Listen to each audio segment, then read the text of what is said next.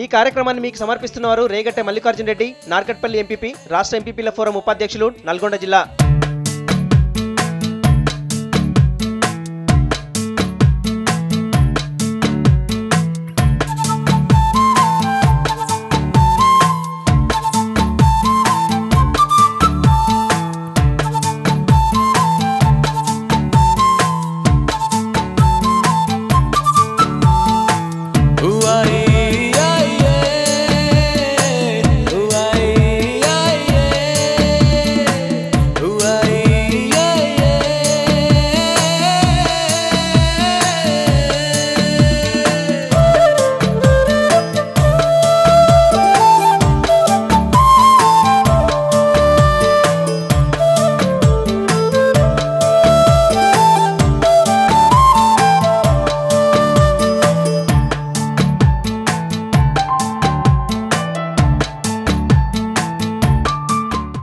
మాది చిన్నప్పటి నుంచి వ్యవసాయ కుటుంబం.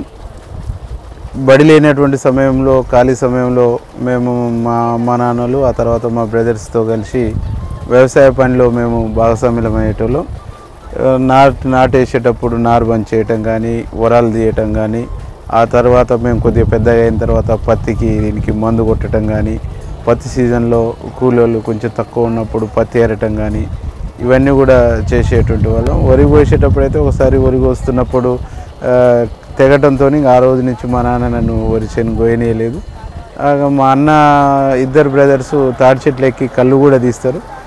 నేను అట్లా తాడి చెట్లు ఎక్కటము కళ్ళు గీయటం కూడా నేర్చుకున్నా. అయితే వ్యవసాయం అంటే బాగా ఇష్టము బాగా వ్యవసాయం అంటే ప్రేమ.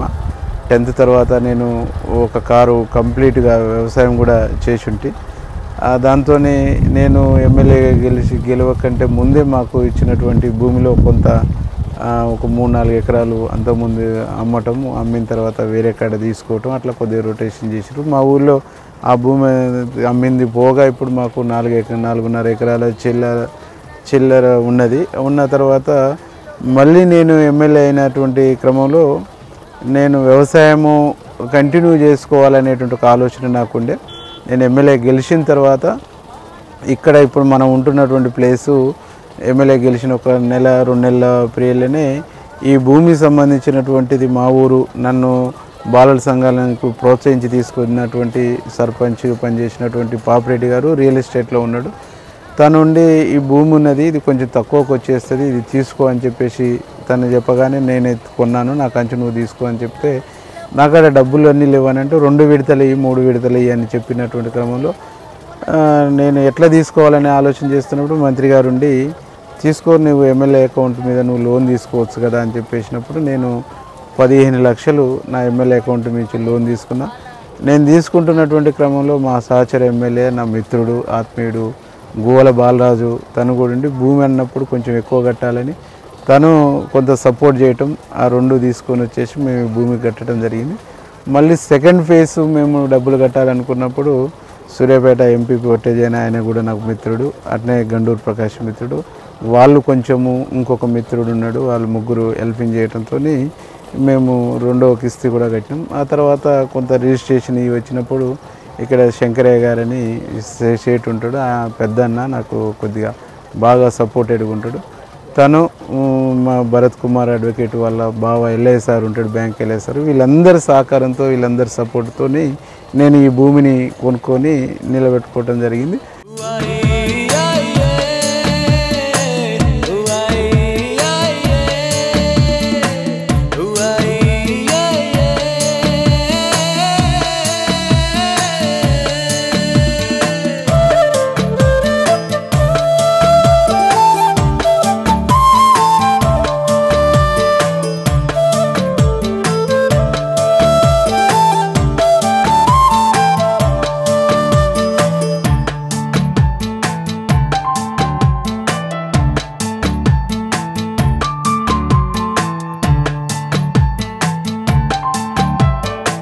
నెల గాయంగా ఉయ్యాలో అన్నలు నడువంగా ఉయ్యాలో మందిలో పెద్దన్న ఉయ్యాలో ముందే నడువంగా ఉయ్యాలో.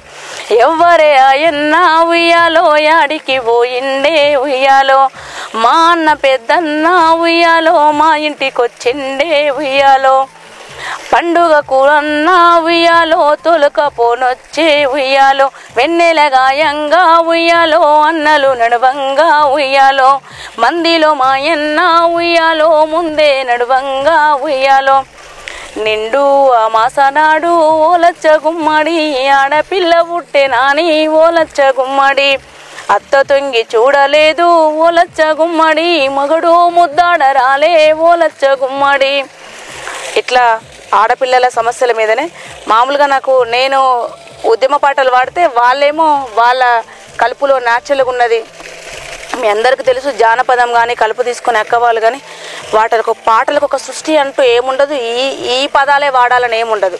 వాళ్ళకప్పుడు సందర్భాన్ని బట్టి నాటేసేటప్పుడు నాటు వాళ్ళని పొగుడుకుంటా లేకపోతే నా వరి నాటు గురించి కానీ అన్నదమ్ముల గురించి కానీ అక్క చెల్లెల గురించి కానీ పొగుడుకుంటా పాడుతూ ఉంటారు వాళ్ళు.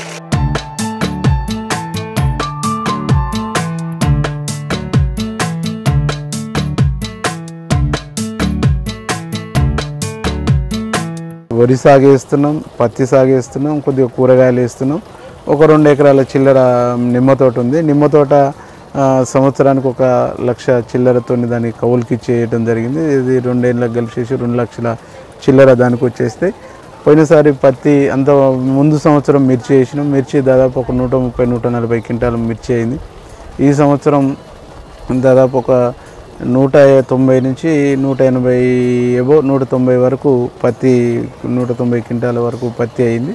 ఇక మాకు ఇటు పత్తి మీద ఇటు వరి మీద అంతకుముందు మిర్చి మీద దీని మీద అన్ని ఖర్చులు ఇవన్నీ పోను. సంవత్సరానికి ఒక పది పన్నెండు లక్షల వరకు మాకు ఇన్కమ్ వస్తుంది. ఇటు నిమ్మ తోట మీద కానీ వరి మీద కానీ మేము వేసేటువంటి కమర్షియల్ క్రాప్ పత్తి అయినా మిర్చి అయినా అట్లా వచ్చేస్తుంది. దీన్ని మేము కంటిన్యూ చేస్తున్నాం. నేను ఎంత బిజీలో ఉన్నా ఎంత ఇది ఉన్నా ఒత్తిడిలో ఉన్నా ఉదయం ఎర్లీ మార్నింగ్ కానీ తొందరగా నా కార్యక్రమాలు పూర్తయితే సాయంత్రం కానీ కనీసం డే బై డే అయినా నేను ఖచ్చితంగా వచ్చేసి నా వ్యవసాయ పనిలో నేను నిమగ్నమై పని బాగా ఒత్తిడి ఉన్నప్పుడు అవసరం కూడా నా కార్యక్రమాలు కొంచెం తగ్గించుకొనైనా నేను వ్యవసాయం చేస్తాను. వ్యవసాయం చేయటం పని చేయటం అనేటువంటిదే దాంట్లోనే నేను తృప్తి పొందుతాను. దాని ద్వారానే నేను ఇది చేస్తాము సరే ఇక్కడ బాగా గ్రౌండ్ వాటర్ సమస్య ఉండే. వాటర్ సమస్య ఉన్నప్పుడు శ్యాంప్రసాద్ రెడ్డి గారు వచ్చేసి కందకాలు ఇవి కొట్టి చేసిన తర్వాత ఇక్కడ బావి తీయమని చెప్పేసి చెప్పిన తర్వాత నాకు ఆ వాటర్ సమస్య కూడా పోయింది. వంద ఫీట్ల వరకు బావి తీసినాం. ఇక నాకు బోర్ల అవసరం లేకుండా పోయింది. అంతకుముందు ఇరవై ముప్పై బోర్లు వేసినా పడలేదు. పడని కూడా ఇది చేసినాం. నేనైతే చాలా సంతృప్తిగా ఉన్నా. నేను రా నేను అన్నిటికంటే రాజకీయాల్లో ఏ స్థాయిలో ఉన్నా దానికంటే ఇష్టపడేటువంటిది ఒక రైతుగా వ్యవసాయదారునిగా ఇక్కడ పని చేయటమే నేను తృప్తిగా ఫీల్ అవుతా. పనిచేయటమే ఇది చేస్తాను అంటే ముఖ్యమంత్రి గారు ఎప్పుడు చెప్తుంటాడు వచ్చిన నేపథ్యాన్ని వచ్చిన మూలాల్ని మర్చిపోతే మనిషి యొక్క సహజ నేచర్ని కోల్పోతారని చెప్పేసి ముఖ్యమంత్రి గారు చెప్తారు. మేము వచ్చిన వ్యవసాయ కుటుంబం వ్యవసాయ ఆధారిత కుటుంబం కాబట్టి ఆ నేపథ్యాన్ని దాన్ని విస్మరించకుండా దాదాపు నాకు ఇక్కడ ఇప్పుడు ఇరవై ఆరు ఇరవై ఏడు ఎకరాల వరకు భూమి ఉన్నది. దీంతో నా జీవితాన్ని నా కుటుంబాన్ని పోషించుకోవాలనేటువంటి నా పిల్లల చదువులు నా పోషణ దీని మొత్తం కూడా నేను తిండి నా పిల్లల చదువులు నా పిల్లల తిండి నేను చేసే కష్టంతోనే వాళ్ళది కొనసాగాలనేటువంటి దాంట్లో నేను ఇష్టపడేటువంటి వ్యక్తిని కాబట్టి దీని మీదనే నేను డిపెండ్ అయ్యి పని చేసుకుంటాను మామూలుగా ఐదు గంటలకు లేస్తాము. ఐదు గంటలకు లేచి ఇంటి దగ్గర పని చిన్న చిన్న పనులు ఏమైనా చూసుకొని ఎనిమిది గంటల వరకు ఖచ్చితంగా బావి దగ్గరే ఉంటాం. వీరేశం గైడ్ చేసేది గైడ్ చేసుకుంటా వాళ్ళకి పని చేయించుకుంటేనే ఉంటాం. నాకు ప్రోగ్రామ్ ఉండి డ్యూటీ ఉన్నప్పుడు పెళ్ళి ఇలాంటి ఉంటే ఉంటుంది. ఇక ఖాళీ సమయం దొరికింది ఒక రెండు మూడు గంటలైనా ఖచ్చితంగా వచ్చి ఇక్కడ ఉండడానికి. రేపు ప్రోగ్రామ్ అంతా ముందే ప్లాన్ చేసుకొని ఉంటాం. రేపు ఏం పని చేయాలో వాళ్ళతో పాటు మేము చేసే పని ఏముంది వాళ్ళు చేసే పని ఏమున్నది. చేసి చెప్పి ముందే ప్లాన్ చేసుకొని రేపటి ప్రోగ్రామ్ ఎట్లయితే షెడ్యూల్ రేపటి షెడ్యూల్ ఏముందని ముందే ఉంటుందో బావి దగ్గర షెడ్యూల్ కూడా ముందే ప్రిపేర్ చేసుకుంటాం. ఖాళీ సమయం ఉందంటే ఈ గంట ఈ బావి దగ్గరకు వద్దాం ఈ పని చేసుకుందామని షెడ్యూల్ ముందే ప్రిపేర్ చేసుకుంటాం. ఈ కార్యక్రమాన్ని మీకు సమర్పించిన వారు రేగట్ట మల్లికార్జున్ రెడ్డి నార్కట్పల్లి ఎంపీపీ రాష్ట్ర ఎంపీపీల ఫోరం ఉపాధ్యక్షులు నల్గొండ జిల్లా.